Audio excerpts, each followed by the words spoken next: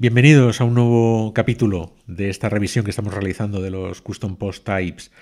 Es una manera de crear nuevo contenido en WordPress. Además de los posts y de las páginas, puedes crear tus propios tipos de contenido.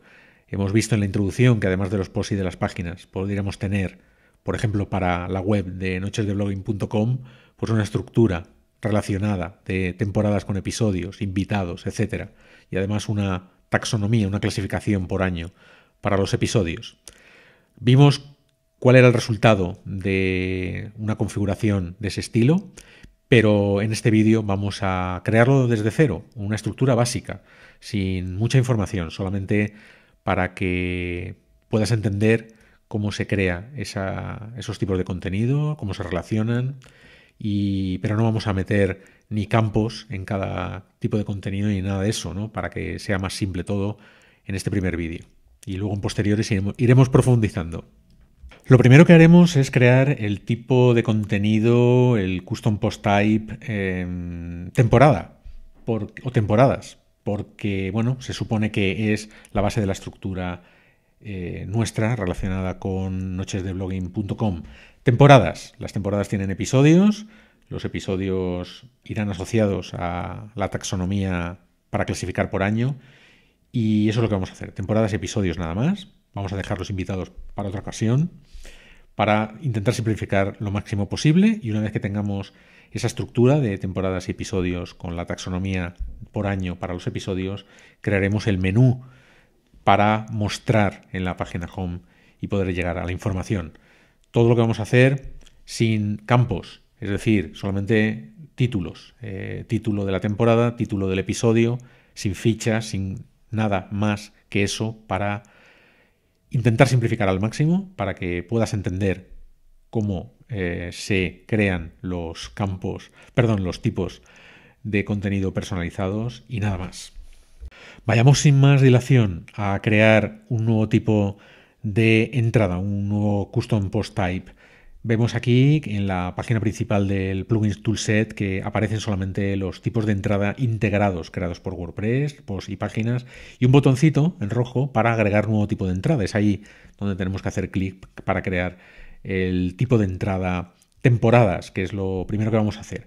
El formulario que aparece a continuación no nos asustemos, porque aunque es bastante largo, no hay casi nada que configurar, por lo menos Mm, al principio, ¿no? Entonces, eh, sí, en, este primera, en esta primera caja, pues hay que darle el nombre tanto en plural como en singular al nuevo tipo de contenido, temporadas y temporada, y luego también hay que eh, rellenar el campito de slag, que es la parte de la URL que va a ir detrás del dominio. En nuestro caso, para este ejemplo, nochesdeblogging.com barra temporada.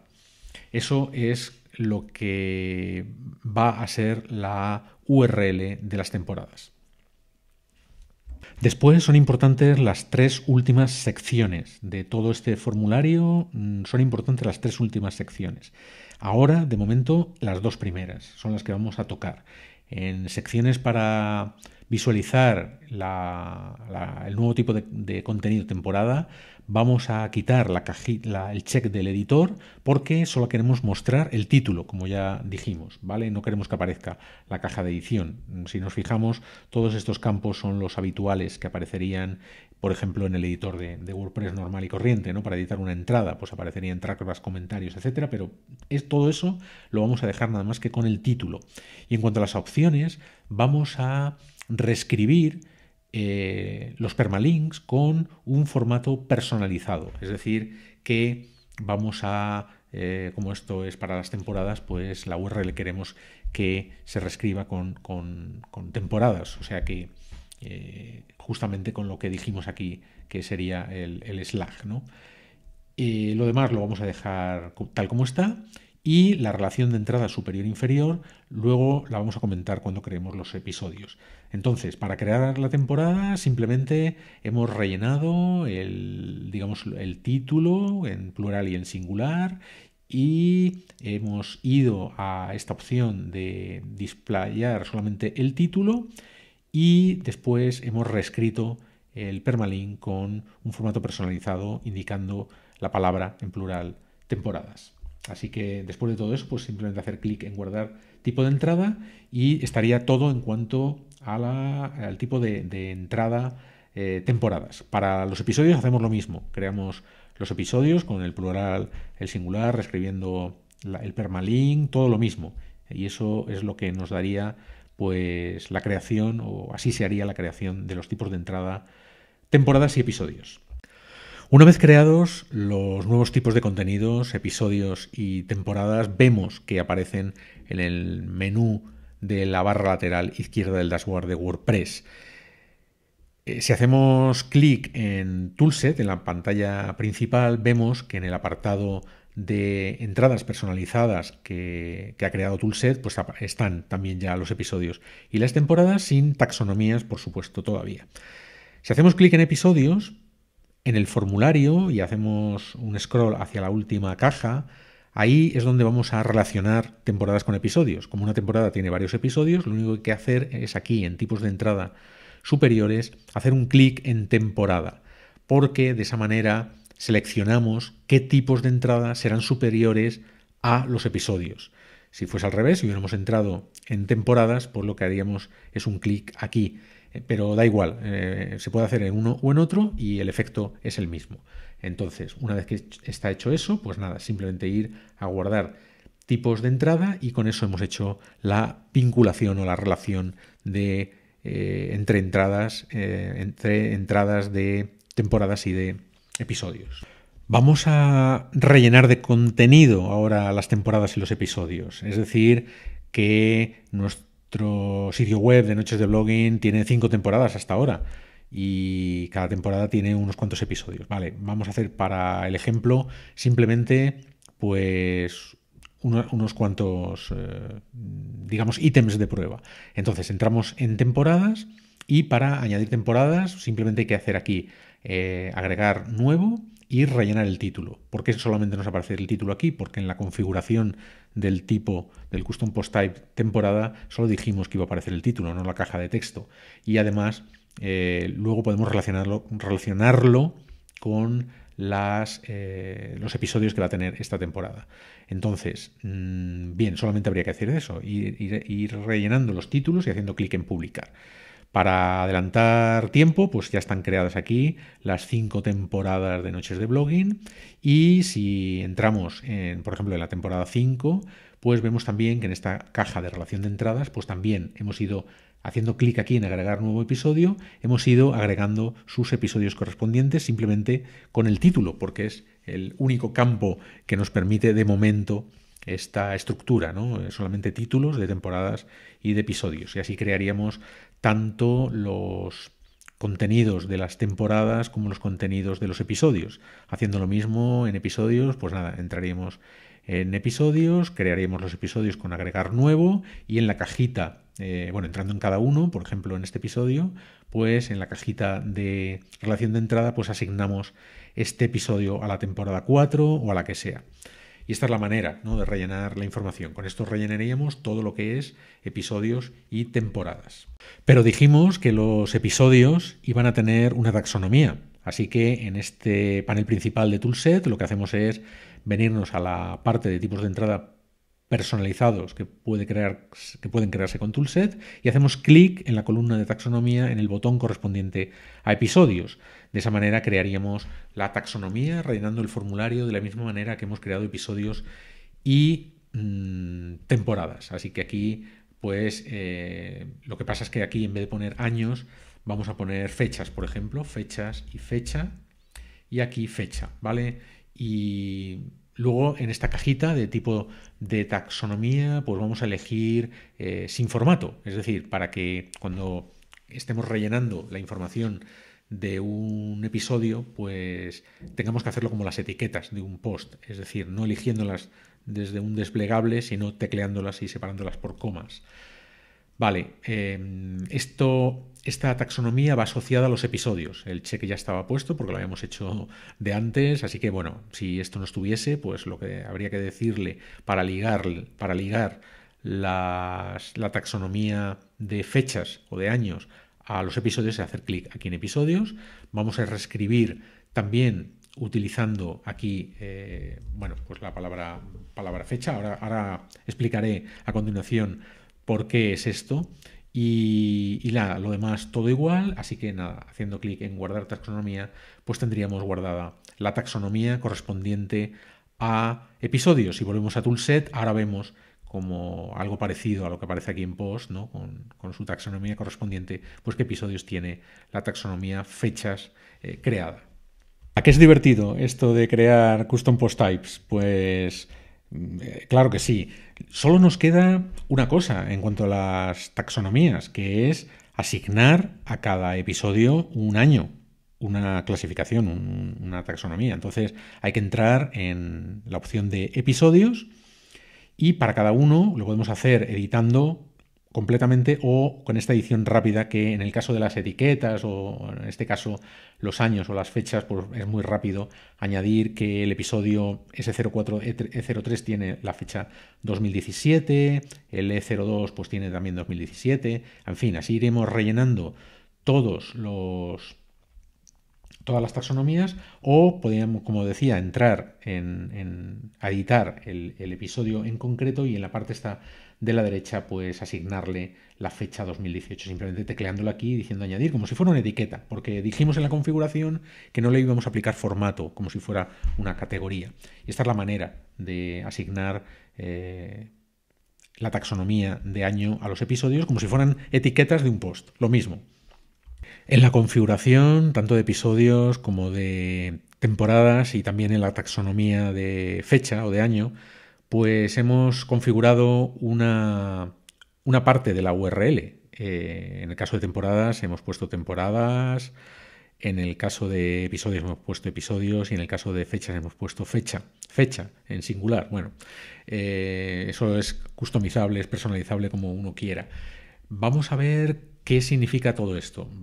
Si nos vamos a la barra de, a la barra de direcciones de, un navegador, por ejemplo en este caso Chrome, y tecleamos el sitio web y el nombre en plural, eh, que es eh, lo que hemos mm, reescrito a través de configuración en la URL, pues en este caso nochesdeblogin.com barra temporadas, vemos que aparecen todas las temporadas. ¿no? Si tecleamos en una temporada en concreto, aparece, bueno, solamente el título, porque ya dijimos que no mm, estamos incluyendo nada más que eso, ya lo veremos en un vídeo posterior cómo se rellena aquí la ficha correspondiente a la temporada, pero nos interesa fijarnos en la URL. Y la URL tiene esta estructura, ¿no? nochesdeblogging.com, temporadas y la, el nombre de la temporada en concreto.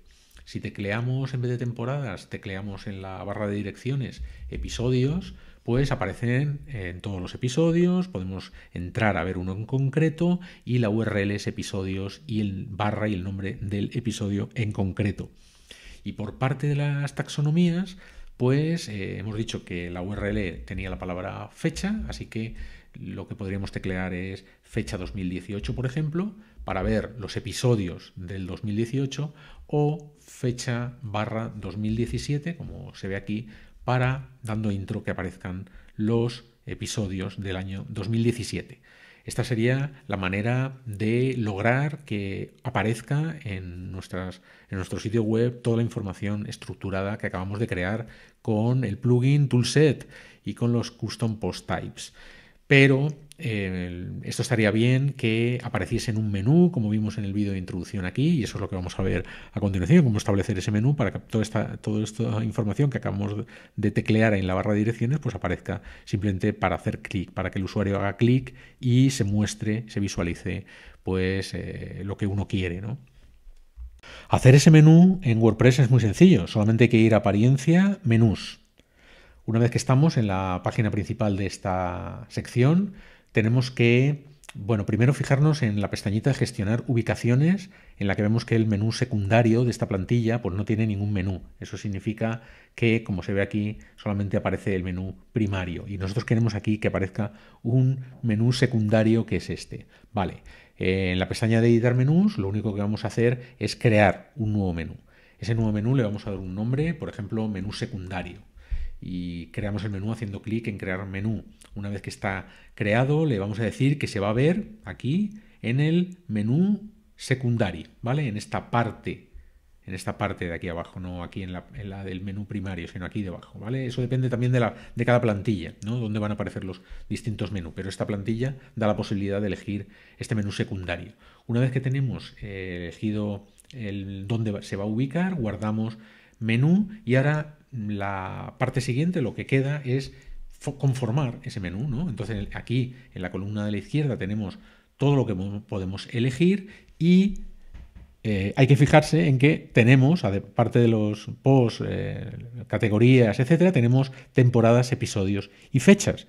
Con lo cual esto aparece automáticamente aquí y eso nos va a ayudar a conformar el menú. Porque lo que vamos a hacer es eh, de las temporadas, pues añadir al menú.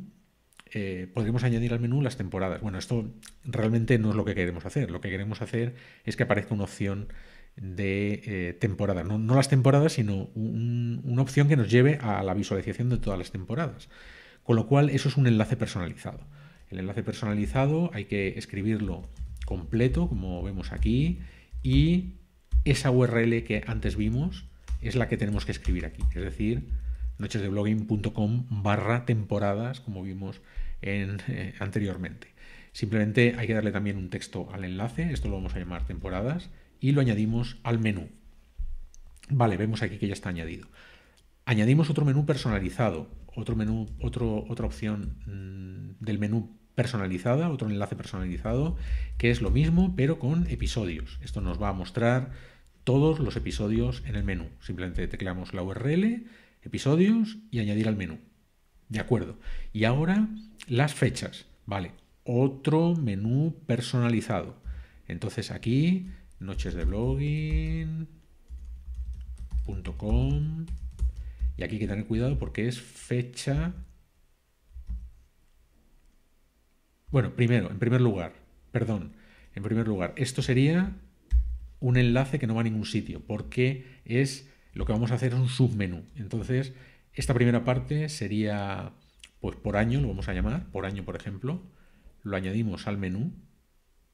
Y ahora las distintas fechas, las distintas fechas, estas dos, las añadimos al menú. Pero, ¿cómo? No aquí al primer nivel de año, episodios y temporadas, sino que arrastrando un poquito a la derecha y colocando el 2017 delante. Eh, lo que hacemos con esto es que cuando pasemos el ratón por encima de por año va a aparecer el submenú con los dos años y eh, haciendo clic en estos años lo que se va a mostrar son los episodios de cada año. Pues ya hemos creado el menú. Esto es fantástico, esto es genial, eh, me encanta. Pues nada, simplemente vamos a la home, donde aparece el menú, este secundario que acabamos de crear, y si hacemos clic en temporadas, aparecen todas las temporadas. Recordemos que solamente el título, sin ficha ni nada. Si hacemos clic en episodios, aparecen todos los episodios. Eh, entrando en cada uno, pues veríamos el título. En este caso, pues falta información, naturalmente, ficha del episodio, vídeo, invitados, cuándo se emitió, etcétera. Y si hacemos clic en por año, pues como pusimos esa, ese hashtag, ¿no? Ese, esa almohadilla, pues si hacemos clic en por año no, no va a ningún sitio, pero si hacemos clic en 2017, fijémonos también en la URL que aparece abajo de la pantalla, ¿no? pues si, hacemos clic en 2017 aparecen los episodios de 2017 o, o, aquellos en los que hemos asignado 2017 a, a ellos y si hacemos clic en 2018 los de 2018. Así que esta es la manera que tenemos de mostrar un menú. Hemos visto cómo lo hemos construido muy fácilmente con estos WordPress puro y duro, no tiene nada que ver con el plugin Toolset, pero sí es verdad que eh, aparecen pues todos los tipos de entrada nuevos también ahí en el menú y es muy fácil bien con enlaces personalizados o bien arrastrando de izquierda a derecha como hemos visto para los años pues eh, como digo es muy, sencillito hacer un, menú ¿Qué te ha parecido? ¿A qué es fácil crear custom post types? Eh, nuevo contenido, además de los posts y de las páginas en WordPress. Súper sencillo. Nada, se trata de tocar tres cositas, y tener, eso sí, un buen diseño de la base de datos relacional, digamos, ¿no? Esa pequeña base de datos relacional, eso lo tiene, hay que tenerlo claro, ¿no? Y pues que una temporada tiene varios episodios, donde voy a aplicar las taxonomías, etcétera, pero lo demás está chupado, es súper sencillo con el plugin Toolset. Custom Post Types es lo que hemos visto en este segundo vídeo. Mm, claro, pero tenemos digamos, una, información pues bastante escasa, ¿no? De, en este caso del ejemplo pues, de temporadas y de episodios. Queremos profundizar un poquito más, queremos crear eh, las fichas completas, cómo hacemos eso y es lo que vamos a ver en, en el siguiente vídeo. Así que nada, espero que te haya gustado, gracias por tu atención, te veo en el próximo vídeo, te hablo encantado como siempre, Antonio Cambronero, saludos cordiales.